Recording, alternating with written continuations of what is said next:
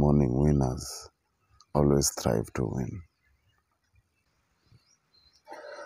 What's up, guys? So every day take an opportunity to win, man. So winning should be in your DNA.